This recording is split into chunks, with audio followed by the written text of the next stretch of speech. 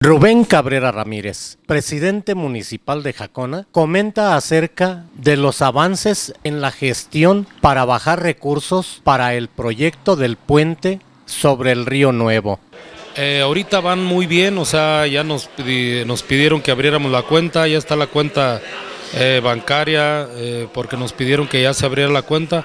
Pienso que va a ser en este mismo año para ejecutar esa obra, porque ya con el doctor Lugo, aquí el vecino presidente de Zamora, lo platicamos, entonces estamos, hemos estado eh, platicando ya constantemente en todos los, lo que nos conviene en zona conurbada para las dos ciudades y el proyecto va muy bien, estábamos contemplando mucho, mucho lo que es el, el, trayecto desde donde está el proyecto, es desde Tamándaro hasta la vialidad, aunque vienen separados.